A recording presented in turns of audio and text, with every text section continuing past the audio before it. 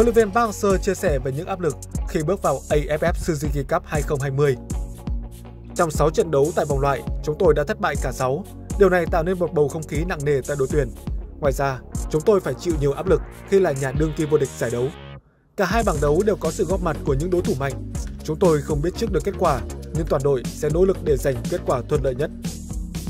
Huấn luyện viên trưởng đội tuyển Việt Nam chia sẻ, bên cạnh những gánh nặng về mặt tâm lý, huấn luyện viên Park Hang-seo cho rằng những trải nghiệm tại vòng loại thứ ba World Cup như những bài học cho đội tuyển Việt Nam.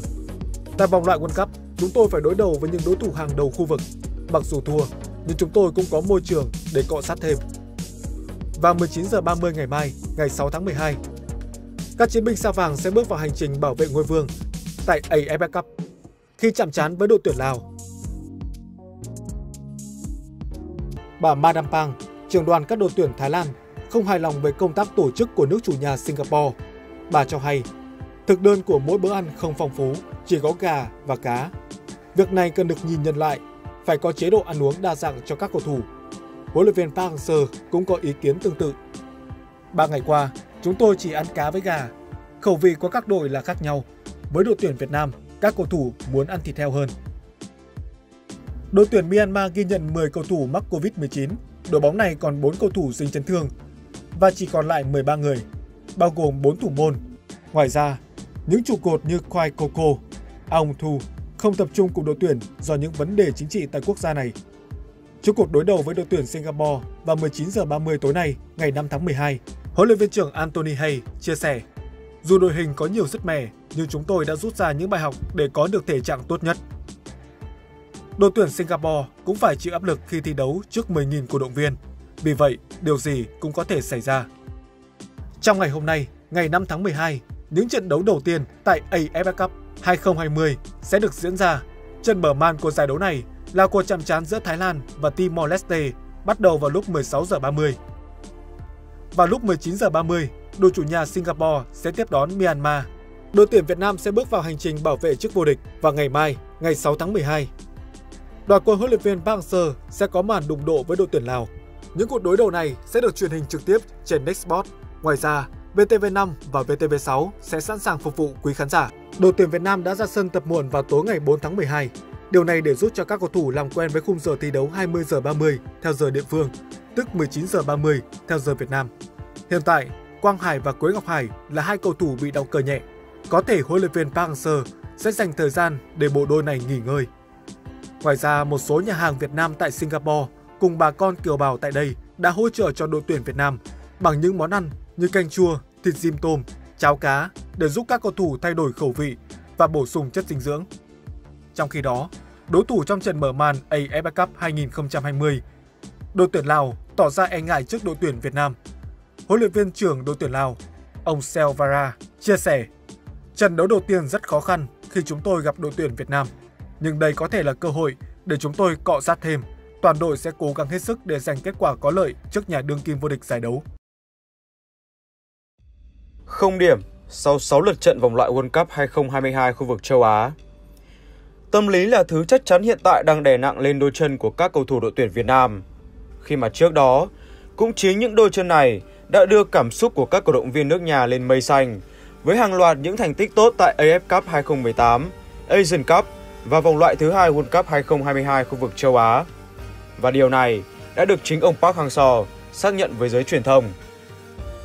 Chưa dừng lại ở đó, đội tuyển Việt Nam bước vào chiến dịch AFF Suzuki Cup 2020 với một đội hình thiếu vắng đi hàng loạt những trụ cột.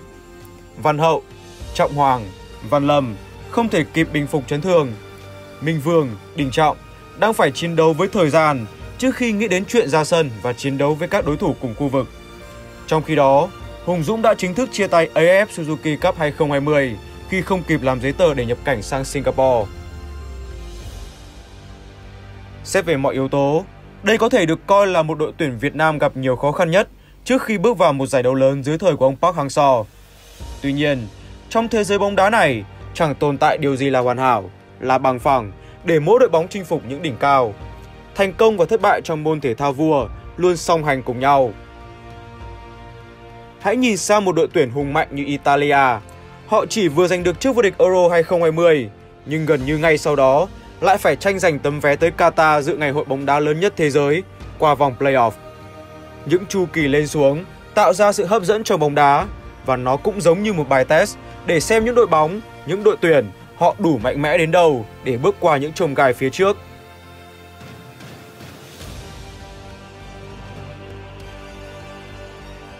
Đội tuyển Việt Nam đang là đương kim vô địch của AFF Suzuki Cup.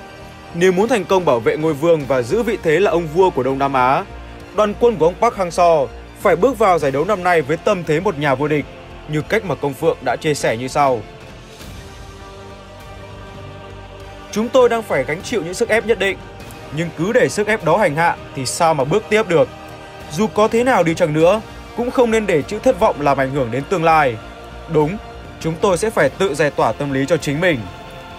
Rõ ràng, tương lai mới là thứ mà đội tuyển Việt Nam cần hướng tới, chứ không phải quay đầu nhìn lại quá khứ để rồi ra sân với đôi chân nặng gánh về tâm lý. Thứ mà bóng đá Việt Nam cần là sự phát triển bền vững, chứ không phải là những khoảnh khắc thăng hoa để rồi trở về với bản ngã chỉ sau vài thất bại. Muốn chiến thắng, chúng ta cần phải chơi với tâm thế của một kẻ chiến thắng. Muốn vô địch, chúng ta phải nhập cuộc với tư cách của một nhà vô địch. Vì vậy, đội tuyển Việt Nam hãy cứ đá đi, đừng sợ hãi bất cứ điều gì.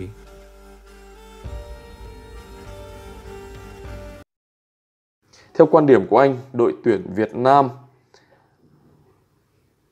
sẽ dốc toàn lực cho AFF Cup hay sẽ giữ sức để vớt vát một điều gì đó ở vòng loại thứ ba World Cup 2022? Ờ, tôi nghĩ rằng đây là một câu hỏi rất là hay, một câu hỏi rất là hay. Ờ, khi mà một uh, huấn luyện viên đứng trước nhiều sự lựa chọn mà con người chỉ có thế thì uh, huấn luyện viên Park Hang-seo Ờ, đương nhiên sẽ phải có những cái toan tính và một cách tự nhiên chúng ta cũng sẽ đặt ra những câu hỏi về cái sự toan tính đó. Bên nào nặng bên nào nhẹ đây?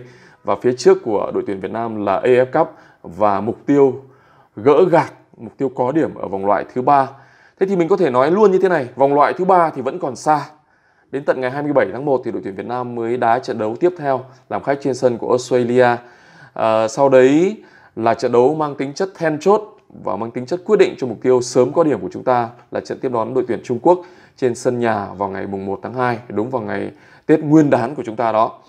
À, vậy thì nó vẫn là một mục tiêu xa, còn AF Cup thì rất là gần. Thế thì tôi nghĩ rằng à, với kinh nghiệm những năm tháng đã đến với bóng đá Việt Nam, huấn luyện viên Park Hang-seo hiểu Liên đoàn bóng đá Việt Nam muốn gì, hiểu người hâm mộ Việt Nam muốn gì. Ông còn hiểu sớm hơn chúng ta nghĩ. Tôi vẫn còn nhớ mãi là thời điểm mà diễn ra SEA Games năm 2019 và cùng với đó là những trận đấu ở vòng loại thứ hai ờ, rất là quan trọng, luôn được làm làm nóng lắm. Gặp Indo, gặp Thái Lan, gặp Malaysia, bên cạnh UAE thì những trận đấu vòng loại thứ hai nó nóng lắm. Và người ta cũng đặt ra câu hỏi là huấn luyện viên Hang-seo sẽ ưu tiên như thế nào? Vòng loại thứ hai rất quan trọng, nhưng lần đầu tiên giành huy chương vàng SEA Games cũng vô cùng quan trọng. Đấy, mà cái trận đấu ở vòng loại thứ hai thì kết thúc rất là sát ngày diễn ra SEA Games. Tận ngày 19 tháng 11 năm 2019 chúng ta mới đá trận đấu cuối cùng của năm đó trước khi bước vào SEA Games thế nhưng rồi thì thầy Park vẫn tính đâu ra đấy và thầy Park với những gì ông hiểu được qua những chia sẻ của những người thuộc Liên đoàn bóng đá Việt Nam qua những ờ, tìm hiểu mà ông có được thì ông hiểu rằng với bóng đá Việt Nam của chúng ta đấu trường khu vực SEA Games hay AFF Cup vẫn giữ một vai trò hết sức quan trọng. Đấy là về mặt mong muốn, đấy là về mặt chờ đợi. Thế còn ờ, về mặt chiến lược thì như thế nào? à, chúng ta cũng phải nói như thế này này, khi mà chúng ta giành vào vòng loại thứ ba của World Cup khu vực châu Á thì đó là một chiến công lịch sử rồi. Thế chiến công đấy nó có hai mục tiêu, tôi nghĩ là như vậy. Hai mục tiêu, một đấy là gì? Đấy là chúng ta sẽ có một cuộc tổng đánh giá khi bước vào cái cuộc chơi ở biển lớn này là cơ hội để có thể dự World Cup của chúng ta là bao nhiêu phần trăm. Cuộc cọ sát này sẽ cho chúng ta biết mình đang ở đâu. Biết mình đang ở đâu là để có sự chuẩn bị để có một hành trang tốt nhất cho một mục tiêu thiết thực hơn và khả quan hơn. Đấy là World Cup năm 2026 thế thì cái cuộc tổng đánh giá này nó có ý nghĩa lớn như vậy. Và khi trải qua cái cuộc thực chiến ở một đấu trường đỉnh cao như thế này, thì nó sẽ là một câu hỏi khác là chúng ta sẽ rút được gì cho những mặt trận thiết thực hơn, gần gũi hơn là đấu trường Đông Nam Á? Và tất cả những cái câu hỏi đó bây giờ đang dần được hé mở rồi vế một đã được trả lời rồi với những kết quả mà chúng ta thua ờ, 6 trận liên tiếp như vậy, thì chúng ta thấy rằng chúng ta còn phải chuẩn bị rất là nhiều số lượng đội bóng dự World Cup của khu vực châu Á năm 2026 lớn hơn, nhưng chúng ta vẫn phải chuẩn bị rất rất là nhiều mà đây là một cái sự chuẩn bị ờ, phải nói là có tính chiến lược, chứ không chỉ đơn giản là ngày 1 ngày 2. Đấy. Còn vế thứ hai thì lại phải chờ đợi ở AF Cup này thôi. Đấy là với những cái trải nghiệm đó thì chúng ta sẽ thể hiện mình như thế nào tại đấu trường khu vực đây thì chúng ta sẽ chờ đợi AF Cup và huấn luyện Park Hang-seo cũng muốn trả lời điều đó tại AF Cup. Đó. Một câu chuyện khác đây là câu chuyện của uh, bóng đá Thái Lan. Bóng đá Thái Lan cũng như chúng ta, những đội bóng của Đông Nam Á đã vào tới vòng loại thứ ba. Bóng đá hay thể thao thì bao giờ người ta cũng muốn nhìn đến những mục tiêu cao hơn, xa hơn, vươn tới những đỉnh cao, đỉnh cao hơn nữa. Thế nhưng để vươn tới những đỉnh cao thì không thể mất những gì mình đang có trong tay. Đấy, và chính bản thân bóng đá Thái Lan đã có một bài học sâu sắc cho câu chuyện này rồi. Ông chủ tịch Liên đoàn bóng đá Thái Lan từng nói rằng là vô địch SEA Games rồi vô địch AF Cup nhưng ra đấu trường châu lục mà cứ thua liểng xiểng như thế thì nói làm gì? Thế là huấn luyện viên kia thì sắc mất ghế. Và bóng đá Thái Lan ở một giai đoạn nào đấy có lẽ là cũng đã rơi vào một cái cuộc khủng hoảng không tìm được đường ra và một nền bóng đá mạnh như thế vẫn là ông vua Đông Nam Á vẫn được danh xưng như thế trước đây mà hai năm liên tiếp uh, tức là hai sự kiện liên tiếp đứng ngoài cuộc trong những trận đấu quan trọng nhất thì rõ ràng là một thất bại rồi đúng không? Hay nói đúng hơn là họ có ba thất bại. Thất bại thứ nhất là không vào đến chung kết của AF Cup 2018, bị loại ngay từ vòng bảng ở SEA Games năm 2019 và không thể vào vòng loại thứ ba. Ba cái thất bại đấy đủ để cho thấy rằng và cũng đều đủ để cho chúng ta chính bóng đá Việt Nam chúng ta cũng rút ra được kinh nghiệm từ chính đối thủ đấy là gì đúng, trong thể thao, trong bóng đá chúng ta phải nhìn xa hơn, cao hơn nữa. Đấy, hay nhiều người hay nói vui là phải thoát ra khỏi cái ao làng Đông Nam Á này đi. Thế nhưng chúng ta chỉ hướng tới những mục tiêu cao hơn, xa hơn khi chúng ta không để mất những gì đang ở trong tay chúng ta. Chiếc cúp đang ở trong tay chúng ta, nên chúng ta phải làm hết mình để giành được nó.